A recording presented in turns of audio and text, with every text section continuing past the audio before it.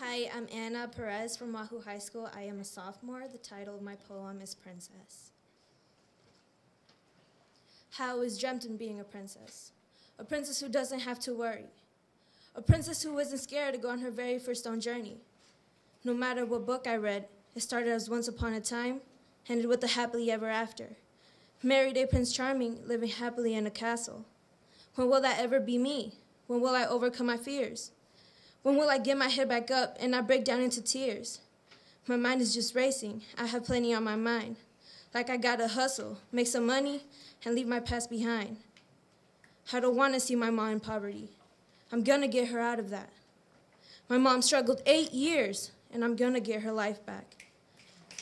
She, like it used to be, my mom, oh God, like it used to be when we were younger. When she always went to work. When she had a nice meal on the table and had a tiny little smirk.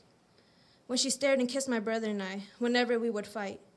She would always call me princess and hug me really tight. She doesn't do that as much now because she too is really hustling. Trying to pay bills and insurance, no wonder she is struggling. I'm grateful with what I have. I won't complain about it. I mean, I wasn't rich when I was younger, and I'm not rich as of right now.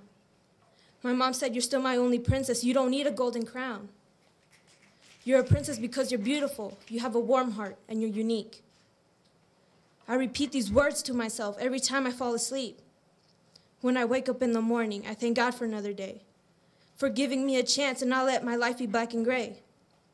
My chapter's just starting, like in any other fairy tale.